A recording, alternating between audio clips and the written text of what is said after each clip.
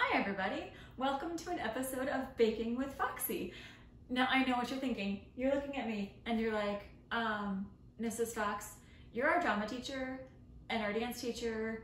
Like, why are you doing a YouTube video on baking? Well, so the reality is that I'm home a lot right now because of the quarantine and COVID and I'm bored and I love to bake. And so I thought that I would bake a delicious batch of chocolate chip cookies. And then I just thought, while I do that, why don't I share with you guys some stuff about me so you can get to learn more about me as a person, as a teacher, etc.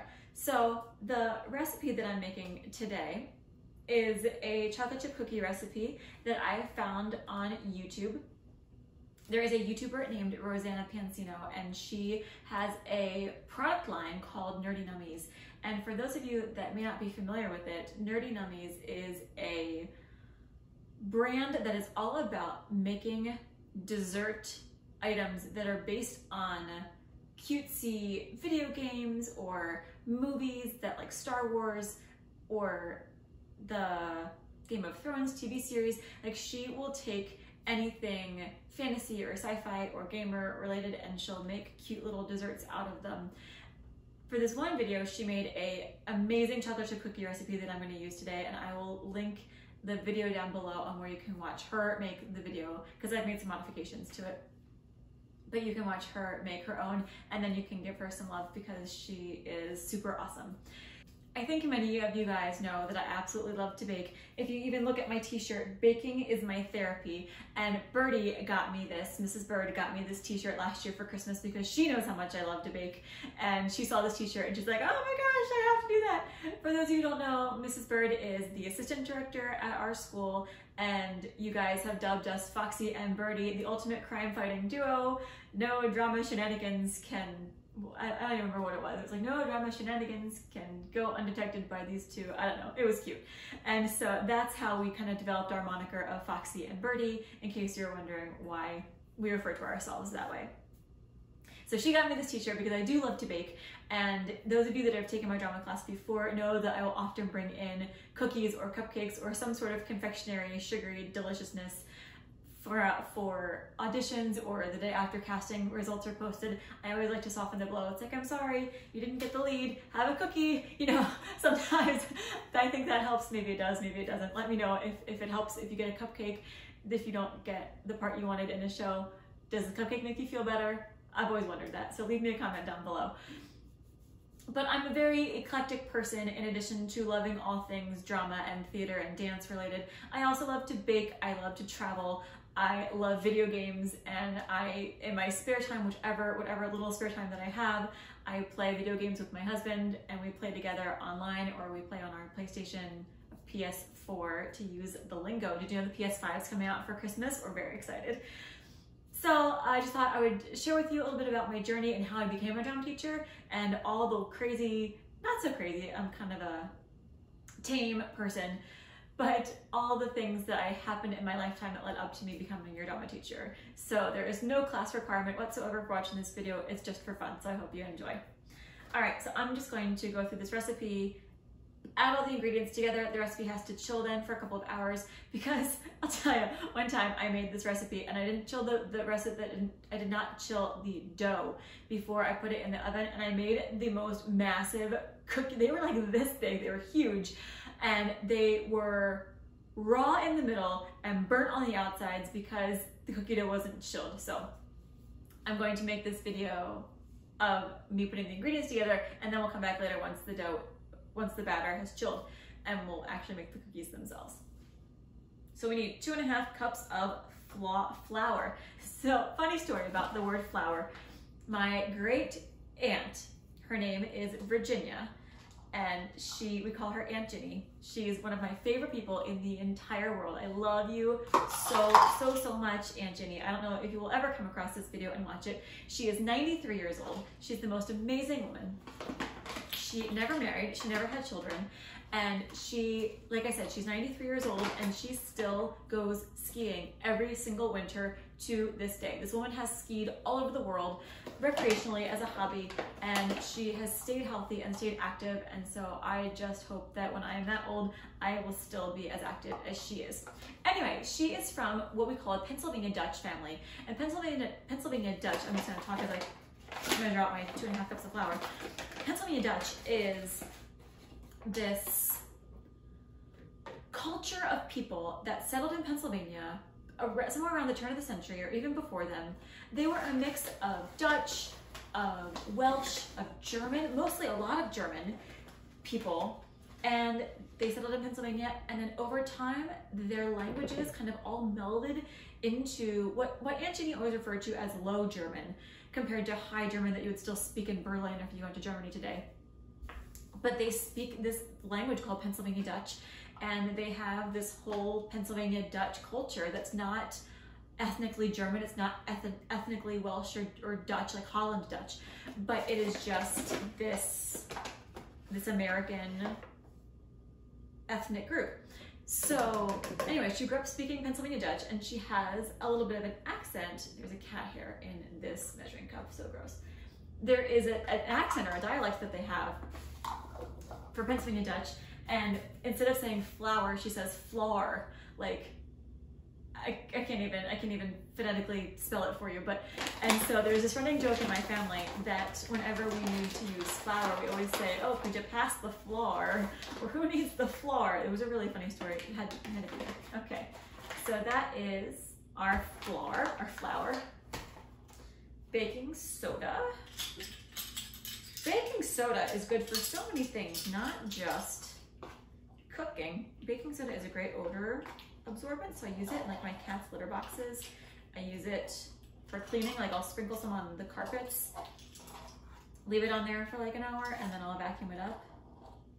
It's great stuff. Two teaspoons of baking soda. So I went to, no, I'll go back even further than that. When I was born, it was a Tuesday, it was 9 a.m. I'm kidding. Well, I'm not kidding. I think I was born on, I don't even know what day of the week I was born on. Anyway, I, my love for theater, my love for performing came about in grammar school, much like I did for all of you guys. I was in a, a play that we did for class and I just loved it and the rest is history. But after that, I just started doing plays in high school. I got in with the play crowd. I tried the athletic thing for two years. I played tennis in the fall. But then after a while, that conflicted too much with marching band and with the fall play. So I dropped tennis going into my junior year. Also because my junior year, I missed the first two weeks of school. And so I couldn't have done a sport being out for that long. I went on a trip. I wasn't sick or ill or any other reason for missing school.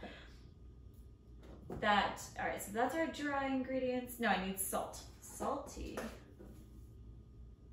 The recipe calls for a table, I'm sorry, a tablespoon of salt. That would be so salty. It calls for a teaspoon of salt. The last time I made this recipe, it was too salty. I felt like also because I use I use margarine instead of butter. I know it's this is like a cardinal sin, but I actually I just prefer the taste of margarine better. I think it makes better cookies. So I'm only gonna use a half a teaspoon of salt. Oops, oops, oops, oops. That was that was a lot of salt. Okay, we're gonna pop the rest of it. Where was I? High school, yes. So I got in with the play crowd and all four years of high school, I did play after play after play after musical after musical after Shakespeare festival after Shakespeare festival.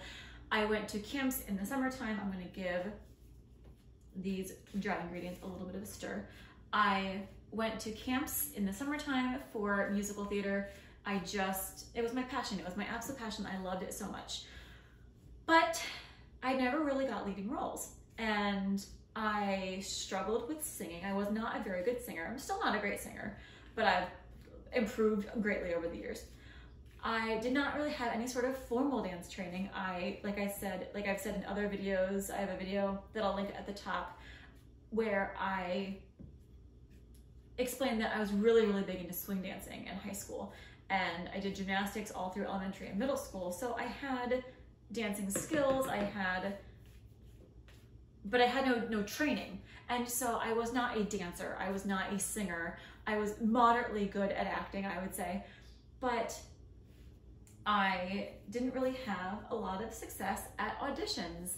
I would say that we did a fall play, a spring play, and a musical every year for the most part. Later on in my high school career, our school underwent construction and then we lost a lot of the spring things that we did. We always did a fall play, we always did a musical.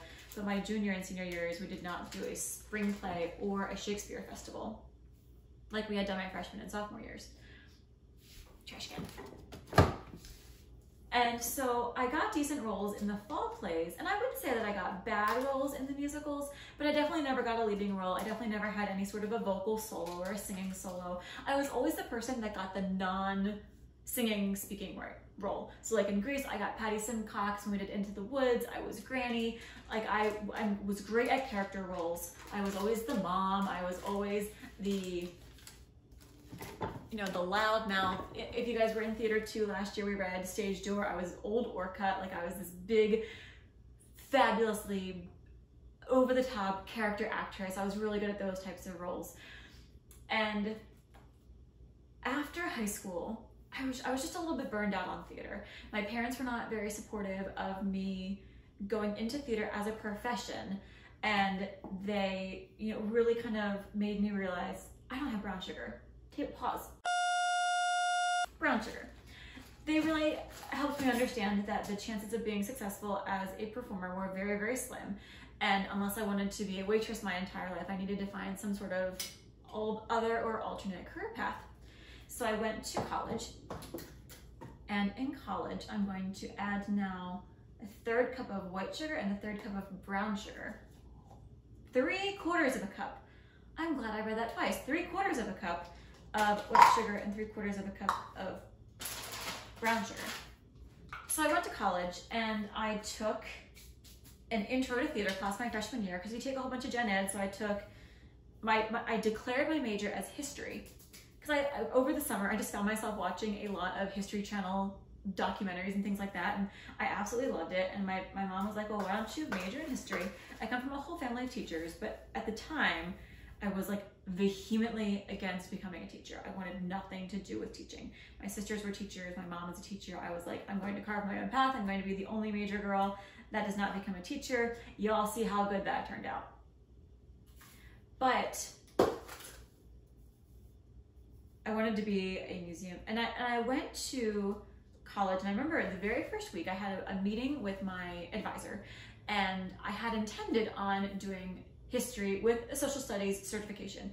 I was like, I can always be a history teacher as a backup. And I remember my advisor was like, don't have a backup if that's not something you ever want to do. He's like, if you want to study history, have history be your major. And then in a year or so, find out what you really love and have that be a minor. So if you want a minor in art history, or if you want a minor in French, or if you want to have a minor He's like, that will be much more helpful to you in college or for your career than spending all this time taking education classes and student teaching, which was basically an entire major just by itself, coupled with the degree in history. He's like, that will eliminate any possibility for taking electives. And so he really strongly recommended that I not do that. And since I really had no interest in becoming a teacher, I was like, sold, I'm good. So my freshman year, I took some history classes, I took some other gen eds, and then I also took an intro to theater class because I still I still loved theater. I had no interest in auditioning for theater. I just kind of wanted to see what college was all about. I and I'm not gonna lie to you. The, very first day of class, my professor said I have a better chance of being a bank robber and not getting caught than I do of being successful on Broadway. Very first thing he said to the entire class. And that really was just the nail in the coffin of me pursuing any sort of theater degree at that time because I was like, you know, that's what my parents were saying. I didn't really get good roles in high school. I didn't get good roles in the musical, so I must not be that talented. And here I have a college professor saying the same thing. All right, theater, like, peace out, we're done, I guess. From there, I went to a student union, like, activities fair, right? Have you ever seen Pitch Perfect? Like you walk around and you're like, hi, join the Bellas. And I found a dance troupe and they, I walked up, walked up to them and I said, like I've done swing dancing, I've done gymnastics. I said, but I don't have any formal training. And they were like, oh, well, we take beginners. We have level one classes for people that have never done anything before. And I was like, this is the most amazing thing ever. So I started dancing and I started dancing so intensely. It was ridiculous. I started with tap dancing and I fell in love with it immediately. Then I started doing ballet. I did lyrical. I did I did jazz. Uh, my later on, I took pointe. I later on I became the artistic director for the entire organization. That happened in my junior year, and I just got absorbed into this beautiful, beautiful organization at my college that I, I just, I found where I belonged. And it was the break that I needed from theater and it gave me a skill that I was really very good at. Like I picked up on dancing really quickly. It, it just came so naturally to me. It almost made me a little sad that I had never danced earlier in my life because I thought to myself, my gosh, if I had actually had ballet training at 10, 11 years old, I, I could have been a very, very good dancer. But starting so late in my life when I did, that just wasn't wasn't my path, which was fine because I, I just I loved it and it rekindled my love for performing and kind of healed a, a, a big wound that I had from, from my high school theatrical experiences. Not that they were bad. My high school experiences were amazing and I loved my directors. Um, Goody G and Mr. Didyoung and or Miss Gervais. There, there are some amazing people and I had a great, great time acting on stage. But I guess just the brunt of not getting parts I wanted, combined with my parents' disapproval, combined with my, you know, college professor saying you'll never make it, it was it was just really really disheartening. And so i took the four year break that i needed from theater and i learned dance and i just loved it so much. I'm to take a break from talking now and i'm to cream my butter and sugar together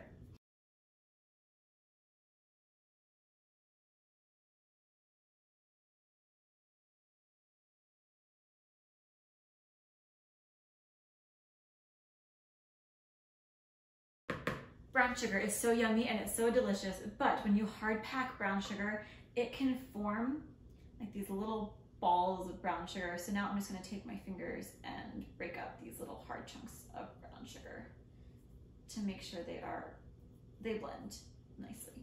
Okay, is that it? Oh, there's another one. All right, back to my story. So four years of college, no theater whatsoever, not, not a single audition, but I danced and I just loved it.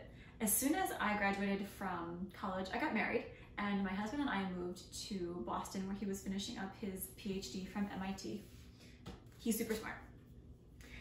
And so I'm now going to dump this stuff into my dry ingredients.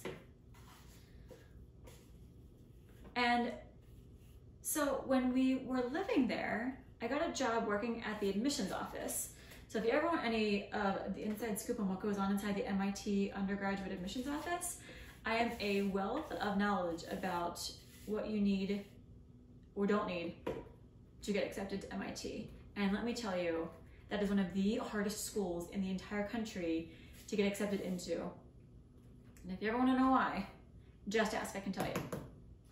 All right, now I'm gonna mix, uh, yeah, mix these two together.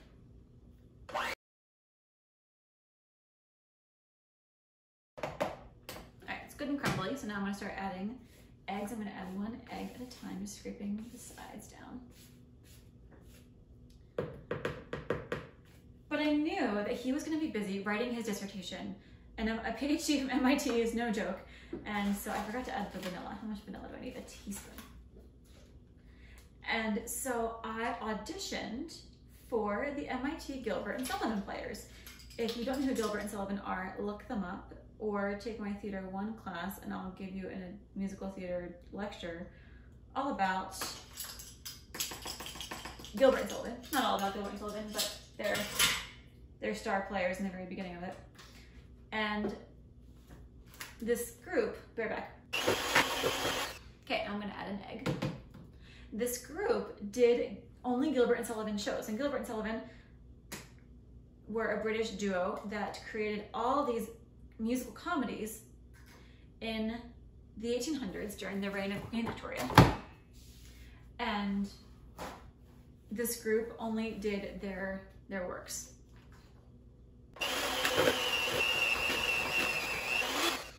So I did two shows with them. Similar situation from my experiences in high school.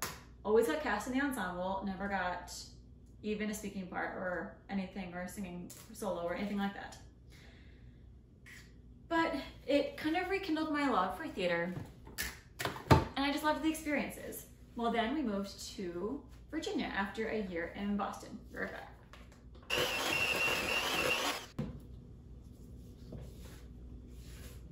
We moved to Virginia and I had no idea what I wanted to do with my life. I had unsuccessfully applied to graduate school in Boston. I got denied from everywhere I applied to. I had terrible GRE scores, despite having a good undergraduate GPA. And I just, I just didn't know what I wanted to do with my life. I didn't know what I wanted to be when I grew up, right? Because I'd studied history in college and I loved it. I absolutely loved history. I did an amazing internship at the National Civil War Museum in Harrisburg, Pennsylvania and I thought I wanted to be a museum curator. And DC was great because the, all the Smithsonian museums are located right around here. And so I thought that's what I wanted to do with my life. Well, after working at the MIT admissions office for a year in Cambridge, I, necess- I wasn't necessarily sure that I still wanted to pursue history, or I just didn't know how to pursue history. So when we first moved to Pennsylvania or to Virginia, I'm just gonna I'm just gonna sample this a little, a little bit. Mm-hmm. Mm-hmm. That's some good stuff. And I'm telling you, I just so the last time I made this recipe, I made it with butter. And you could stick your finger in and you just the butter taste was too strong. I like margarine. I don't know why. I think I'm a freak. So we moved to Virginia. I said that already, didn't I? And for like the first two months, I was a housewife. I had absolutely no idea what I, what I wanted to do. We moved here because my husband got a job working for a company called Orbital Sciences as an engineer. And about a month after moving here, you know, my husband Justin suggested, why don't why don't you look for for play auditions. Like you, you used to love it and you had a great time doing the Gilbert and Sullivan plays in Boston. Why not look for a troupe or a company that does shows around here? So fun fact, my husband and I actually met in high school doing a play, so he was very familiar with the world. And so I saw uh, auditions that were coming up for a community theater company called the Sterling Playmakers. And they were auditioning for a play called The Mousetrap by Agatha Christie, which is a murder mystery. It's an amazing show. And my husband actually decided to audition with me. And you know what happened? We both got cast in the two leading roles. It was probably the best thing that could have happened to me at the time because it just affirmed that I was talented, that I just had to be the right age for the part you know, because in high school, and I made this comment to you guys a couple times, and if you don't know what comment I'm talking about, I'll, I'll link to the video about preparing a monologue for an audition. In high school, I was always cast as the mother, the old woman, the character actress, the big personality. I was never cast as the ingenue. I was never cast as the damsel or the young lead. And then when I was 22, 23, auditioning for this role, what did I get cast as? The 22, 23 year old. She happened to be the lead in the show, but she was. She was the ingenue because I was finally that age in life and I was auditioning with a company that cast people as that in an age appropriate role. There's a character in the Mousetrap called Mrs. Boyle and she's probably 40, 50, 60 years old. And I remember at auditions, I asked to read for Mrs. Boyle because that's who, what I was used to. I was used to playing the character actress. And they looked at me and they said, um, you're, you're too young for Mrs. Boyle. And I was like, oh, like they're actually gonna cast someone who's 50 or 60 to play Mrs. Boyle. Duh. Like I had to get out of that mindset that had been so ingrained in me from high school when I was so used to playing parts that were older than I was. So we did the play. It was amazing. It was so much fun. And that just helped get my passion for theater back. So for the next couple of years, I did more and more community theater shows. I got a, my act together, I got a resume, I got some headshots. I started taking more and more dance classes at local studios. I kept up with my dancing. I did more pointe work and I started doing some professional stuff. I did on camera stuff. I did on, um, I did film work. I did some movies. I did some commercials. I did some TV shows. And I'll tell you all about those specific things when we talk about building a resume. I'll go into exactly what professional work that I've done. And I just, I just, I just had a ball. I was living life. I got a job also. I was an executive assistant where my husband was working. And so I was earning good money during the day. And it was a job that was flexible enough that allowed me to take a long lunch to go to an audition or I could go to rehearsals in the evenings. And I really just found my passion again. What happened and why I ended up becoming a drama teacher was that I checked all the boxes. I had this list of major roles in plays, major roles in musicals that I wanted to play. I got some singing lessons. I discovered I had a major breakthrough with my singing voice. I got cast in all of the leading roles that I ever wanted to play in a musical, maybe except for like Evita or Mary Poppins. But those roles, I feel like I I wasn't age appropriate for them now. I'm kind of more age appropriate for them now. I had a leading role in a Shakespeare play, and I just I, I had you know speaking parts on camera, on film. I was in a I was in a national commercial. I just felt like I had done everything that I wanted to do performing wise and I was looking for a new a new path, a new road in life. And I said, you know what, maybe it's time for me to give back a little bit. And so I'm gonna pause there. I'm gonna put this in the fridge and I'll tell you the rest when we come back. All right, our cookie dough has chilled in the fridge for about four or five hours now. It's a little bit later in the afternoon than when we first started. I'm going to take a spoon and scoop. Uh, that's, that's way too much. the last time I did that, I made cookies that were so big, and that's because I used a spoon that was too big. All right, so I have a little bit less now. I'm going to, oops, oops, perhaps the cookie dough should have been a little cooler. But I'm making little balls, and I'm sticking those balls, a little bit smaller than a golf ball size, onto my cookie sheet. So when I left you off later, I explained how it got to the point where I wanted to become a drama teacher. I had been working at Orbital as an executive assistant, doing all sorts of things that were fun, that I enjoyed, and I worked there for nearly 10 years. And I was acting on the side and you know doing a real day job during the day. And then I decided I wanted to become a drama teacher. But the problem if you remember from the beginning of my story, what did I study in college? That's right, I studied American history. And then even while I was working at Orbital, and I later went on to get a master's degree, while I was working there, I did it online. I got my master's degree in American history. And I still, for some reason, wanted, had in my mind that I was going to pursue this path of teaching or not of teaching, but of, of doing something in the historical field. And I, I absolutely, I do love history. I, I enjoyed working on my, my, these are so sticky, I should have left them in the fridge for longer. I really enjoyed my master's program. I wrote tons and tons of papers. I wrote an entire 100 plus page dissertation on the wife of a famous Civil War general. And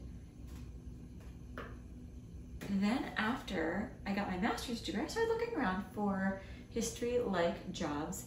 I became a docent, if you guys remember from our trip, if you guys were involved in the Diary of Anne Frank last fall, you remember that I told you guys that I used to be a docent at the Civil, the National uh, Holocaust Memorial Museum in Washington, D.C. I worked there for about a year or two. But what, one thing I really did not like so much about the museum world was just how little museum exhibits change. when I interned at the Civil War Museum in Harrisburg, they had a new temporary exhibit that went up like every six or nine months. And that was kind of exciting because even though the permanent exhibit, the permanent galleries didn't change, that was set up from the beginning, from when they opened. During the time that I interned there, over the two years I interned there, there was a temporary exhibit on women during the Civil War. There was a temporary exhibit on children during the Civil War. There was a temporary exhibit on flags of the Civil War. And I just learned so much about how to borrow those items. I acted as the registrar, so I was responsible for negotiating the, not negotiating, but um, doing the paperwork for the the long-term lease of whatever artifacts we borrowed for these exhibits. And I learned about caring for the artifacts themselves. And then I also helped create the displays. And I, I created all of the the signage for the displays and the descriptions for each of the artifacts that went into the display cases. And I was just so involved in the whole process of, of creating these exhibits. And that's really what I loved was the creation and the creativity part of it. Ovens preheated. Then when I got to the Holocaust Museum, like the big Smithsonian legitimate, not that the Civil War Museum is not legitimate, but was a much smaller scale, much more private uh, private establishment as opposed to the Smithsonian, which is completely governor, government and donor based. They opened a temporary exhibit while I was working there and I got trained on giving tours through that exhibit I really, really enjoyed that. The, the exhibit was called Some Were Neighbors about collaboration and complicity during the Holocaust. It was such a moving, such a moving exhibit and I really enjoyed giving people the opportunity to experience that, helping them wrestle with with their own personal demons and, and what they would have done if they would have been in that sort of situation. And when the exhibit opened, I remember asking someone, whether it was the director of education or something like that, I was like, oh, so how long is this exhibit going to be open? And she looked at me and she's like, oh, a minimum of five years. and I was just like, oh, okay, five years. Like that's how long a temporary a temporary exhibit stays open is is five years. I'm gonna put these in the oven now for, what did the recipe say? It said seven to nine minutes. Since these are not as chilled as I would like them to be, and because my oven tends to run a little bit hot, I'm only gonna put them in for six minutes. So I realized at that time that maybe museum curatorship wasn't wasn't for me. And so I started looking much more seriously at what it would take to become a drama teacher. And I went through a program called the Career Switcher Program, which was offered a couple different universities in the area offer that type of certification to become licensed in teaching. And what's neat about it is that it's considered an alternate route to licensure, so licensure. So where if I would have studied education or had the secondary education certification in college with my undergrad degree, I would have had to take so many extra classes. And like I mentioned before, I would not have had the freedom to take the electives that I took. I ended up taking so many awesome electives in college. I did a concentration in American history and a concentration in public history, which helps with like museum work and and living history and things like that. Living history is like when you get all dressed up like reenactors. Um, that's called living history. And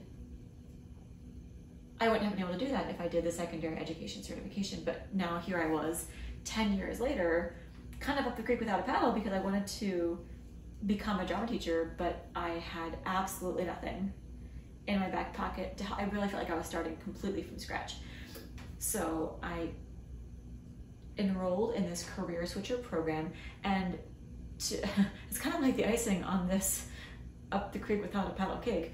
I not only had no education certification whatsoever, I also had no theater credentials whatsoever. Years and years of amateur and professional experience on stage, on film, etc., unfortunately count for nothing when you are going into education.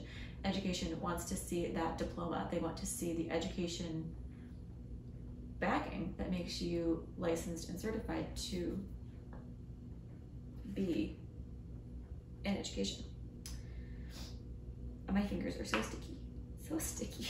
Definitely, like they're cold. And it's definitely cold, but I definitely should have left it in the fridge longer. Oh well.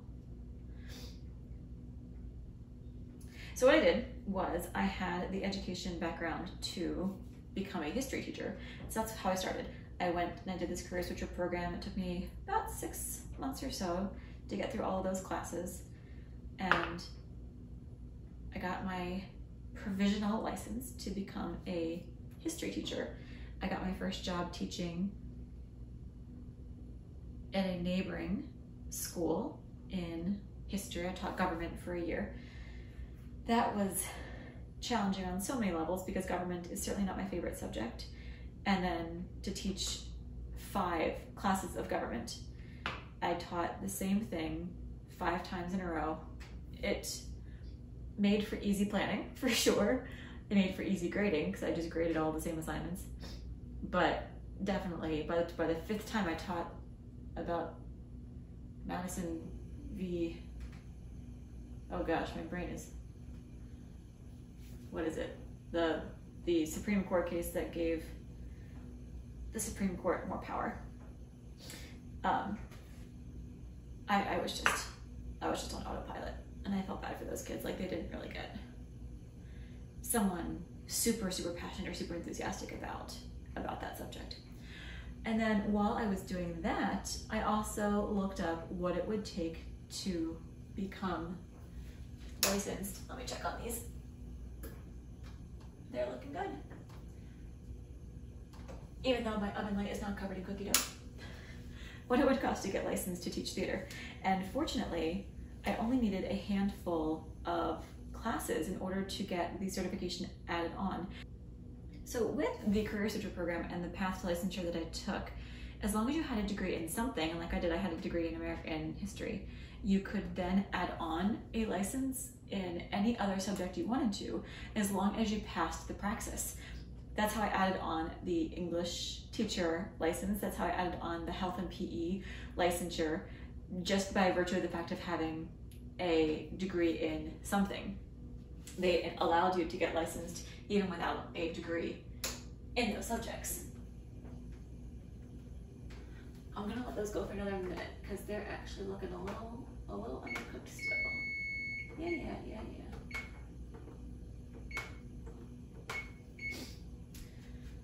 Okay, those are ready to go. Oh, my finger now. I think I'm just gonna go for like another 30 seconds. You wanna count with me?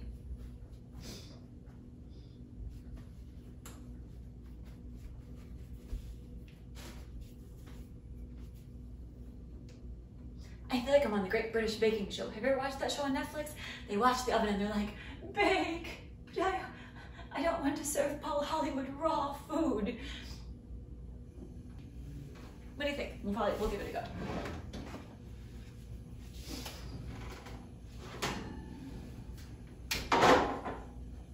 Are very big and very flat. All right, I'm going to put these in. Let's see, I put them in for six minutes. They needed longer. I'm gonna put these in for eight minutes. To get my theater credentials, however, there was no praxis that I could take. There existed one, but that's not what they considered acceptable to get licensed in teaching theater anymore.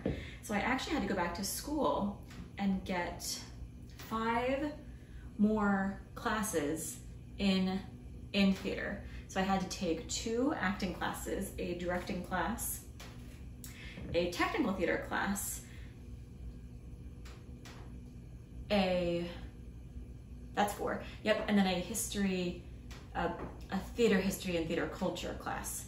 So I did kind of a combination of things. I did the theater, I did four out of the five through Catholic University in Washington, D.C. They have what's called a, the MATE program, which is Master of Arts in Theater Education program, which was awesome. So I actually did an acting class, theater, I'm sorry, an acting class, a graduate class, sorry, an acting class, a directing class, the technical theater class, and the theater history class, all at the graduate level.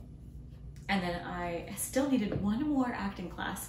I found it so, so ridiculous how many years had I spent on stage, on film, whatever, acting, dancing, modeling, and I still needed an acting 101 class. So what I did was I went, I found an, an acting 101 class um, at George Mason that ran on Monday evenings. And so I just enrolled in that as a non-degree seeking student and they let me just take that one single class. And then I submitted all my paperwork and got my certification in teaching theater arts. So the rest is history, you guys. The very next year, I saw the job opening at our school and I applied and I got got the gig. So now you're stuck with me. So I'm gonna finish getting these cookies all ready to go and we'll, huh. I'm gonna get these off the tray. These still look,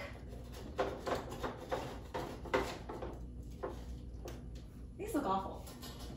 I'm sure they'll taste delicious, but you know what I'm gonna do, you guys? I'm gonna put the rest, I'm gonna put all of these back in.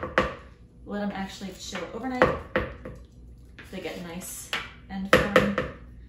And then I'll try cooking these tomorrow. I'll give you an update on how they turn out. And now I'm not embarrassed to admit that I'm going to lick the cookie dough off of that cookie sheet.